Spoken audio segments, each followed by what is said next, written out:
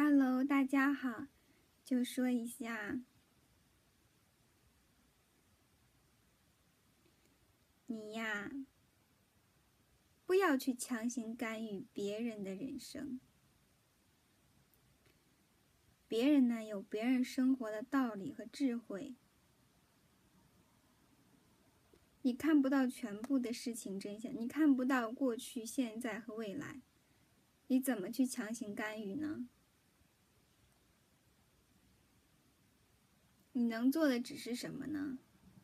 你用你的行为做出来，他觉得好，他自然就接受了。